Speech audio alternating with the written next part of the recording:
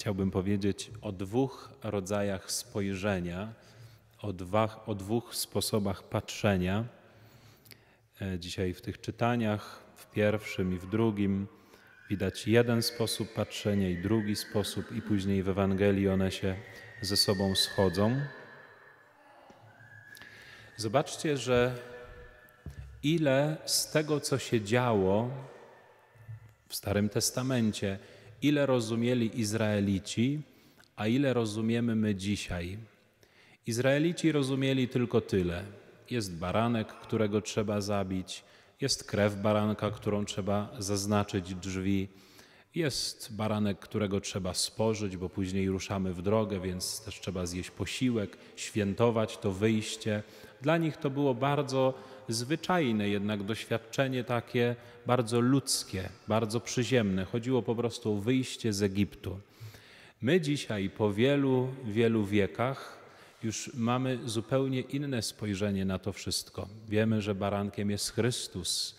Wiemy, że ta krew, która była na drzwiach, że to jest krew Chrystusa, która ocala od potępienia.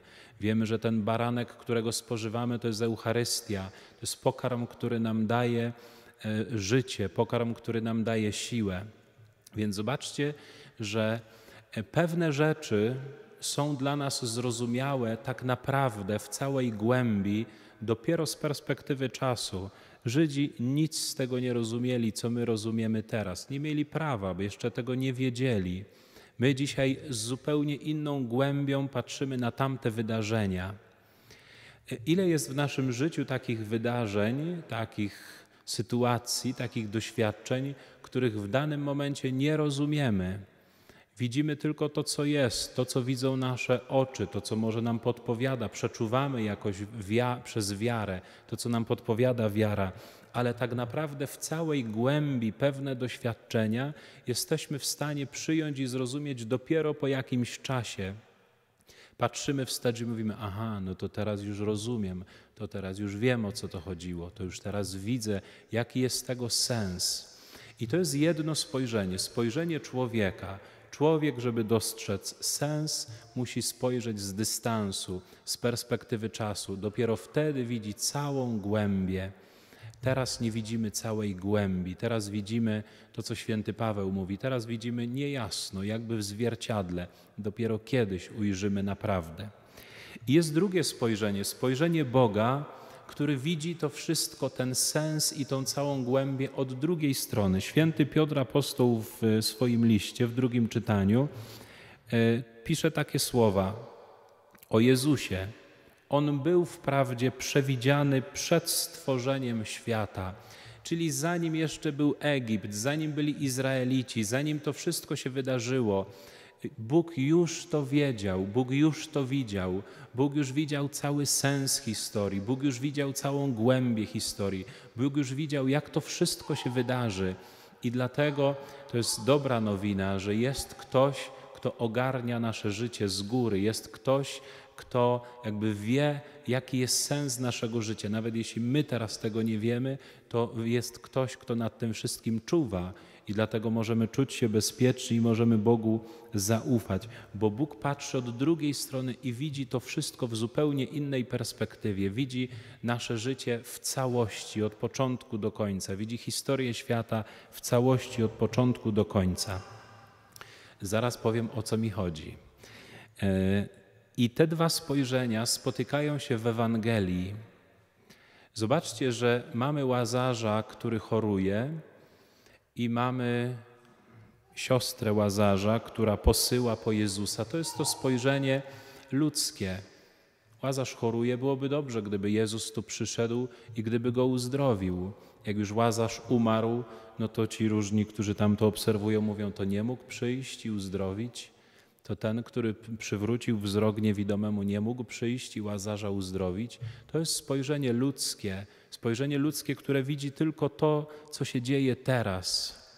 A jak patrzy na tą sytuację Jezus? Jezus patrzy tak jak Bóg od drugiej strony.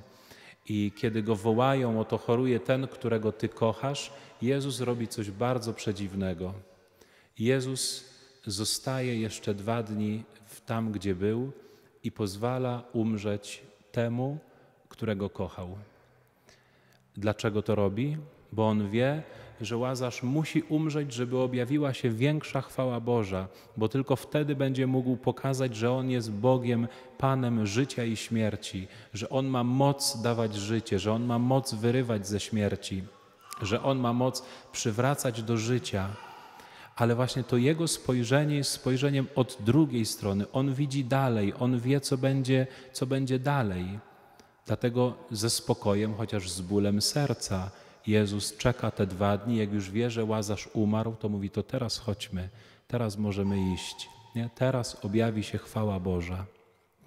Moi drodzy, jesteśmy na rekolekcjach na drugim stopniu oazy e, rodzin, oazy, e, w, w czasie której mamy wyjść z niewoli, w czasie której mamy wyjść z Egiptu, w czasie której mamy zobaczyć, co jest łazarzem, któremu trzeba pozwolić umrzeć, żeby objawiła się w nas większa chwała Boża.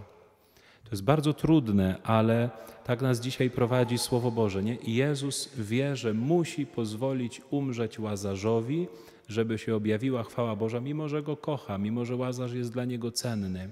Czy już w czasie tych rekolekcji odkryliśmy, co jest naszym łazarzem, któremu trzeba pozwolić umrzeć, po to, żeby mogła się w nas objawić większa chwała Boża. To jest tożsame, ten łazarz to jest tożsame właśnie z naszą niewolą, z naszym Egiptem, prawda? Czy już to odkryliśmy? Czy już był ten moment, w którym się zmierzyliśmy z tą prawdą, że trzeba pozwolić umrzeć łazarzowi? Bo tylko wtedy może się objawić w nas chwała Boża.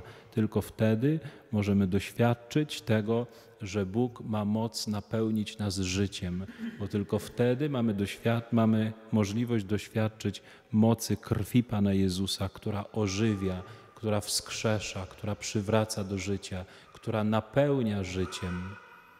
Pan Jezus w Ewangelii Jana w dziesiątym rozdziale, w dziesiątym wersecie mówi takie słowa: Ja przyszedłem na świat po to, aby moje owce miały życie i miały je w obfitości. To jest pragnienie to, Pana Jezusa. To są te dwa różne spojrzenia. Spojrzenie ludzkie jest takie, żeby zachować to życie, zachować tą chwilę, ten moment, a spojrzenie Boże jest takie, żeby dać nam życie w obfitości, żeby dać nam życie w całej pełni. Ale żeby to się mogło wydarzyć, to właśnie czasami trzeba pozwolić, żeby Łazarz umarł. To są te dwa spojrzenia. I my się uczymy, będąc ludźmi, uczymy się właśnie Bożego spojrzenia.